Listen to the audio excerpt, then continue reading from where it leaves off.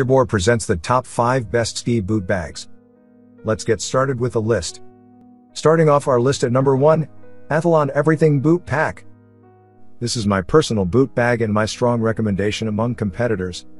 Compared to the other ski boot bags available in a similar price range, this bag is a hands down winner. Let's talk about why the Athalon bag beats the competitors out of the gate. External storage comes in three flavors, shock cord on top, small zippered pocket at the top, and two small zippered pockets outside of the boot compartments.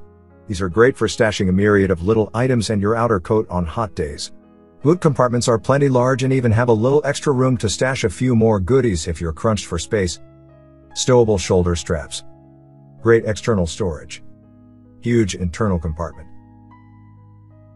And number two, Sportube Overheader Boot Bag. This boot bag is a different style in that it's more of a backpack that carries boots and unlike some other boot bags, it carries your helmet on the outside of the backpack. The huge advantage of ski boot bag backpack is the ability to use it while skiing and not needing a separate backpack. If you're flying, it fits easily in the overhead compartment unless you're on a puddle jumper and then you will need to remove the helmet. Unless you have it completely stuffed to the gills it will fit under the seat but you will need to remove the helmet from the pod. Whereas a backpack skiing, Allows helmet to air out. 50 liters of storage. And number 3, Team Pack Ski Boot Bag. With the Team Pack we have a different type of ski bag in that we are carrying our boots on the outside of the backpack. If you're using it after skiing, it will allow your boots to start drying out unlike other boot bags. Your boots strap on easily to the backpack and held securely, not flopping about. Your helmet, you are wearing one right? fits in a mesh flap that clips and holds it securely while allowing to do air out. The Team Pack gives you a lot of versatility, it's a great backpack for skiing giving you a lot of room for goodies while skiing plus take extra goggles, a fleece etc.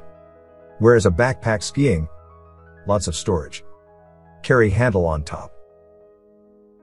And number 4, Transpack XT1 Ski Boot Bag Review. Featuring several different colors and fabric patterns, there should be an option here for the whole family. Triangular design and construction means a relatively smaller central storage compartment when compared to other similar models. 600D nylon construction meets industry standards of durability and promises of water resistance abound, though nylon fabric is inherently water resistant. Compressible cinch top closure and zip top closure strike me as redundant and unnecessary. Lower price point. External mesh pockets for wet gear.